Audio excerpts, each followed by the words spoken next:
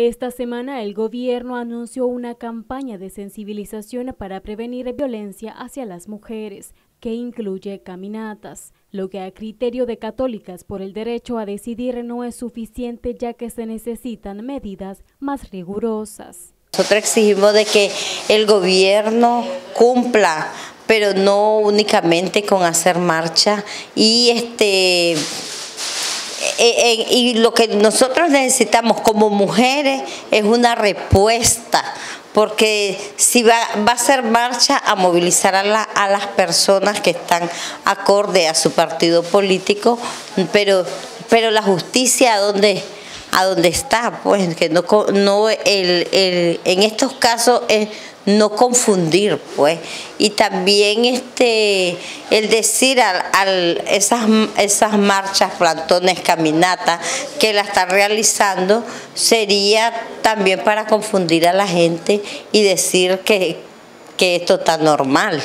porque este, si vemos que fueron 66, 63 femicidios en lo que en lo que cerramos el año y hoy este, la violencia está cada día más más agresiva con las mujeres. Otro elemento que recomienda es que el Ministerio de Educación incluya en su plan de estudio valores que disminuyan el machismo desde temprana edad. Una campaña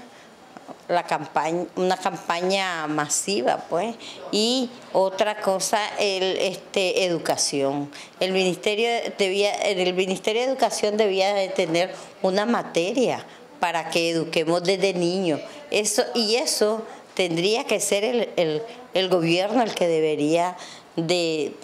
de, de hacer unas estrategias para reducir